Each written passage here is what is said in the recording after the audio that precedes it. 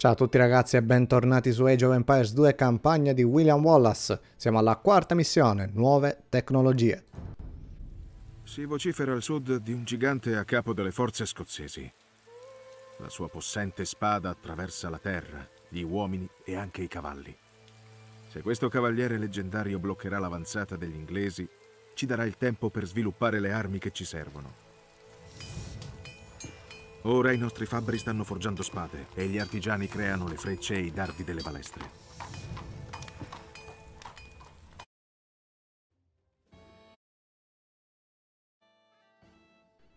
Bene, per vincere dovrai passare all'età feudale e respingere le incursioni degli inglesi.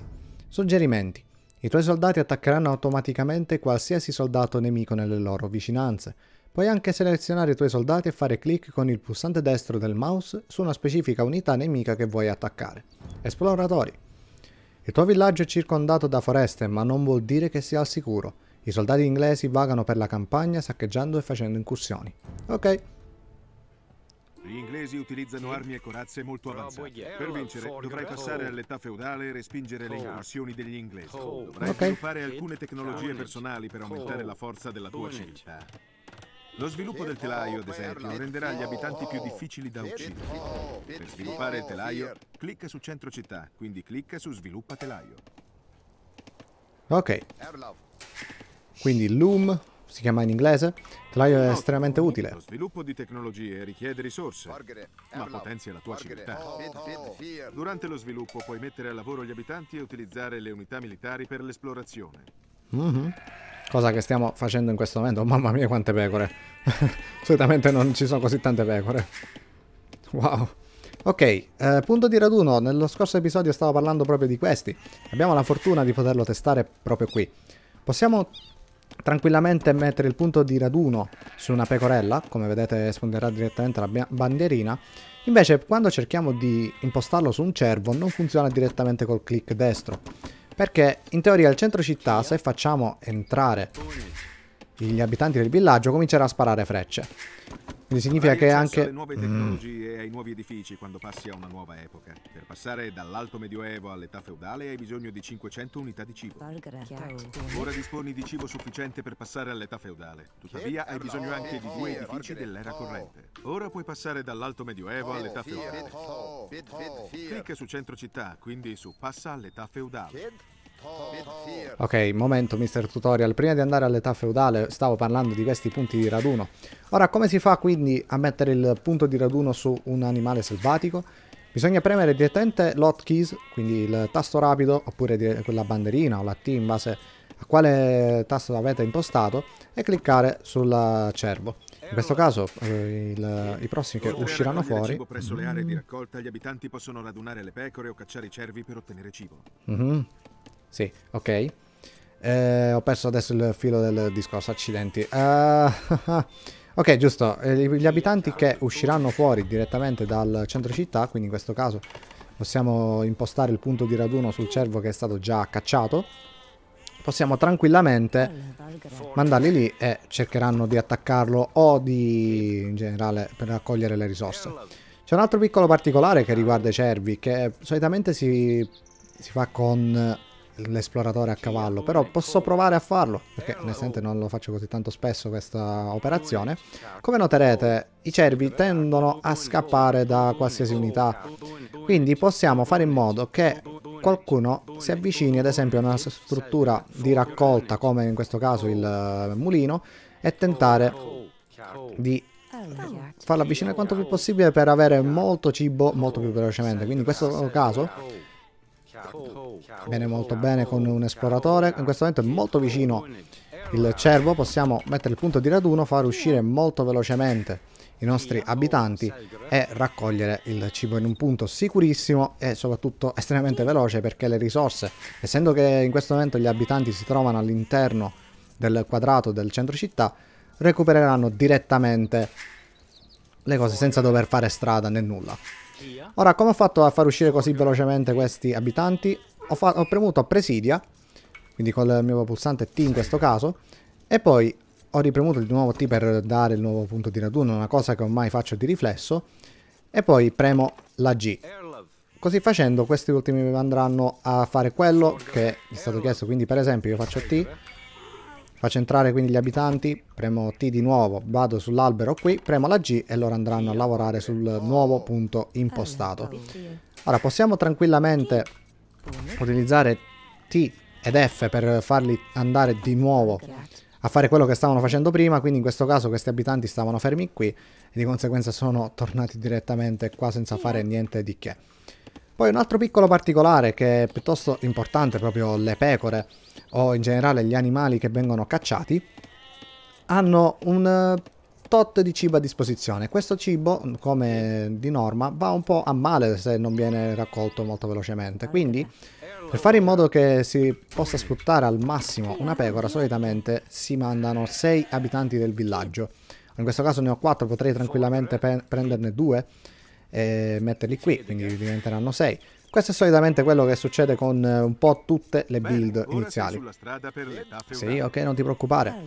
Uh, poi per quanto riguarda gli abitanti dovete fare un po' attenzione con le pecore perché sfortunatamente sono un po' come dire non vi potete fidare di questi qua perché non andranno a prendere la pecora più vicina a volte se ne andranno a cercare anche pecore che non c'entrano nulla. Quindi per sicurezza tenete premuto shift. Oh, oh. oh wow. Attacco furtivo con uh, fanteria scelta addirittura. E attaccano la, la caserma cioè gli alloggiamenti. Eia! Questa è nuova come cosa per quanto mi riguarda, eh. Venite, forza. Possiamo provare ad attirarli verso il centro città? Così non perdiamo nemmeno HP volendo. Cioè, a parte, vabbè, potevo farlo molto meglio. Sicuramente. Eh, ok. Adesso possiamo tranquillamente far tornare tutto il lavoro. Crea altre unità di milizia presso gli alloggiamenti per completare le tue forze. Ok, stavamo dicendo, tra parentesi prima avete sentito il suono delle pecore di nuovo, come se le aveste ritrovate. In pratica le pecore cambiano colore in base all'unità che è più vicina a loro, o in questo caso alla struttura. Quindi possono anche essere rubate dagli avversari. Comunque, se vogliamo essere sicuri che per esempio i nostri 6 abitanti qui vadano a questa prossima pecora, possiamo selezionarli, tenere premuto Shift e cliccare col destro sulla pecora che ci interessa. Ok. Così sappiamo cosa faranno. Passare all'età successiva è il modo migliore per far avanzare la tua civiltà. Il pulsante abitante in attesa. Cliccaci sopra per ah. individuare ah. gli abitanti che al momento sono inattivi. Adesso che sei nell'età feudale puoi potenziare le tue unità milizia a fanteria scelta. Clicca sugli alloggiamenti, poi su potenzia a fanteria scelta. Ok, eh, un attimo solo perché qua ho fatto un po' di confusione Mister Tutorial, eh, voleva anche spiegarci a quanto pare l'abitante del villaggio in attesa, cioè sarebbe quell'abitante che sta fermo da qualche parte, che non sta facendo nulla, eh, solitamente succede quando finiscono magari delle risorse, se non eh, si dice di andare a fare qualcos'altro e così via. Ora, in questo caso non, non, è necessario per forza vederlo, possiamo premere l'hotkey che scegliamo. All'inizio solitamente il punto, ma io preferisco metterla sul backslash perché è più vicino al numero 1. Così salterà direttamente sull'abitante. Vogliamo mettere un attimo questo qui fermo, giusto per vedere cosa succede. Come vedete la telecamera salterà sui vari abitanti che sono fermi. Così facendo potrete controllare che sempre stiano facendo qualcosa. fanteria scelta trasformerà tutte le unità di milizia in unità più potenti di fanteria scelta. Ok. Tra questa cosa che sto facendo ragazzi è inserire le strutture all'interno dei gruppi di controllo. I gruppi di controllo possono essere utilizzati sia per le strutture e sia per le unità. Molto utile solitamente per le unità, possiamo vedere i gruppi che sto utilizzando su Definitive Edition in questo caso qui. Possiamo arrivare anche fino al gruppo 10, cioè il gruppo 0, però non è necessario. Ovviamente fate in modo che i pulsanti che scegliete siano comodi per uh, le vostre mani e quant'altro. Ora questa volta avranno anche un cavaliere a disposizione con addirittura 10 più 1. Quindi nuovamente metteremo le unità al centro città e cercheremo di farci aiutare. Stavo notando un particolare che non so se è voluto. Ma solitamente spiegava anche il suono della campana. Yeah boy, non possono assolutamente. Molto strano. Ok, credo proprio che... Mm. Strano che non l'abbia completamente spiegato questa cosa. Cioè, che cosa voglio dire? Purtroppo adesso non posso farvela vedere.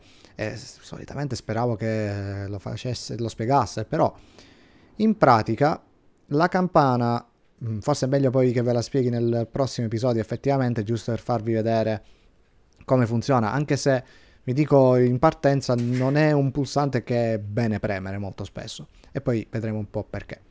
Detto questo vediamo un pochettino che cosa ha da dirci mister narratore. Edoardo ha invaso, assalito e saccheggiato la città di Perth. Peggio ancora, ha rubato la leggendaria pietra di Scone, proclamandosi re di Scozia. Se non riusciamo a ottenere presto una vittoria, l'esercito scozzese si demoralizzerà e non vorrà più combattere. Se questo gigante leggendario esiste davvero, spero che porti le sue forze a Stirling, dove affronteremo la prossima battaglia. Va bene ragazzi, con questo concludiamo la quarta missione. Io spero che fino ad ora vi stiate divertendo, spero che, cioè, so che non sono cose troppo troppo complicate, sicuramente i giocatori più esperti conoscono già molto bene le basi per questo gioco, però spero che comunque stiate apprezzando questi piccoli tutorial. Detto questo ragazzi, io vi ringrazio per la visione e noi ci vediamo al prossimo video. Ciao ciao!